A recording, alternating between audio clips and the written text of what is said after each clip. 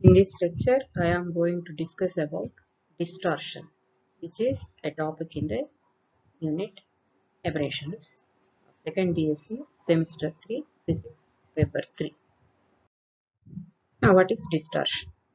Distortion is a monochromatic optical aberration that describes how the magnification in an image changes across the field of view at a fixed working distance. Or, one more definition, the image of a square object formed by a lens is not a square. This defect is called as distortion. The image of a square object formed by a lens is not a square. This defect is said to be distortion.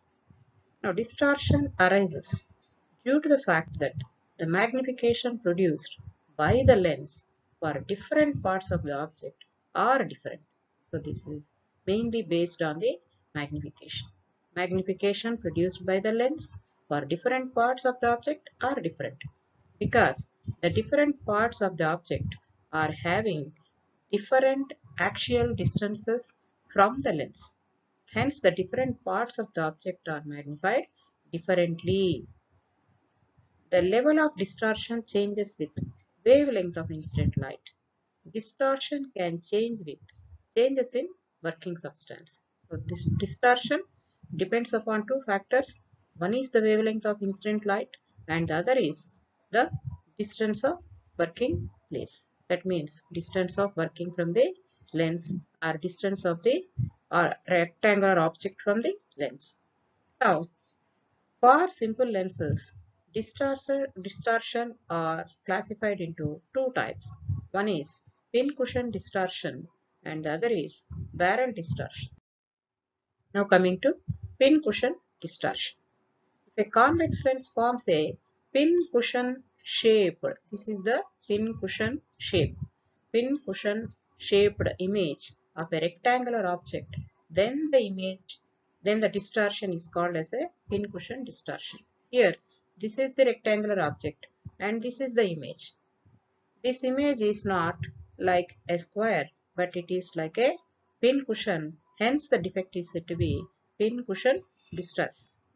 This pin cushion distortion arises due to the fact that the magnification increases with the increase of axial distance from the center of the lens. So, this mainly depends on the axial distance of the object, axial distance of the object from the lens, center of the lens.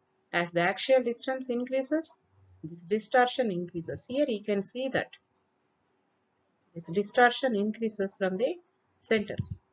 Here, this is the distorted image and this is the not a distorted image. We want to expect the image like this, but we are not getting the image like this.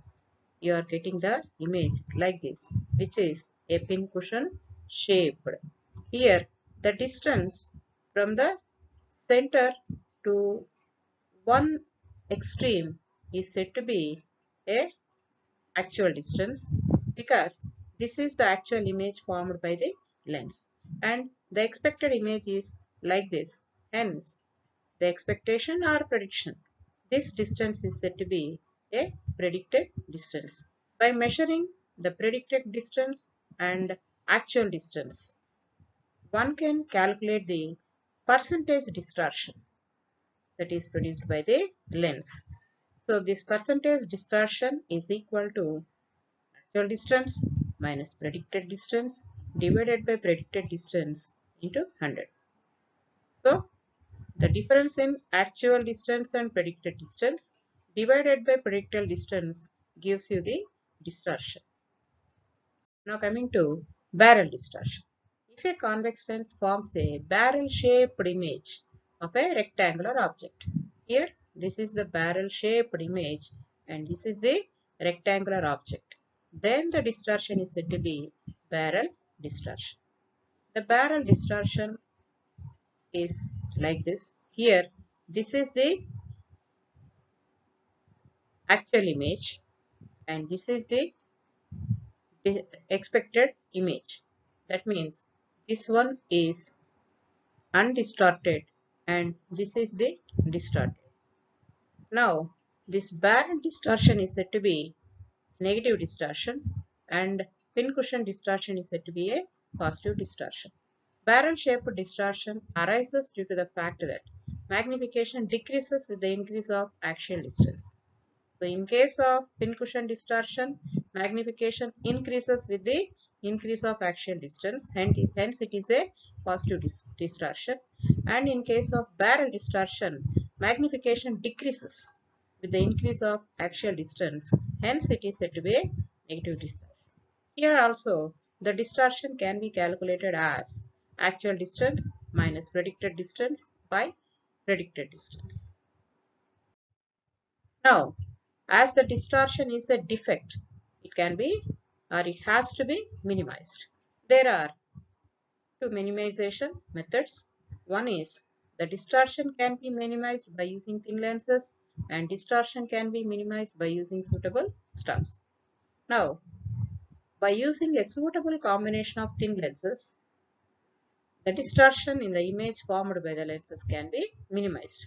So, these are the uh, lenses arrangement in case of Ramsden eyepiece. By using like this, the distortion can be minimized.